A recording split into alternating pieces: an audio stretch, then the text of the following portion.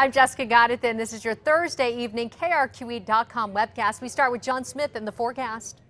We will be watching a storm system moving into our direction through the overnight hours, and we'll actually see a little bit of the precip develop across the four corners through the overnight hours. That'll expand into the northern mountains in the metro throughout tomorrow morning, and then into the eastern part of the state by the afternoon as our cold front drags across the state.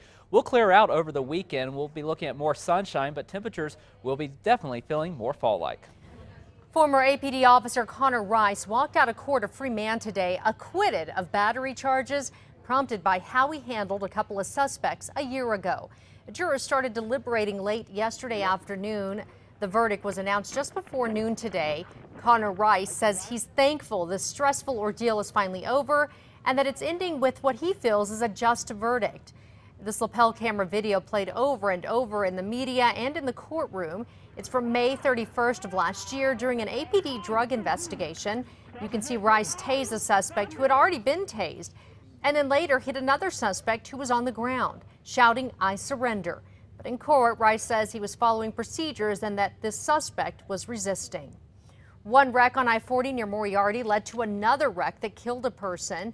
Torrance County Sheriff's deputies say it started when a bus carrying kids to the pumpkin patch missed its exit and turned around on the interstate, causing two other cars to crash.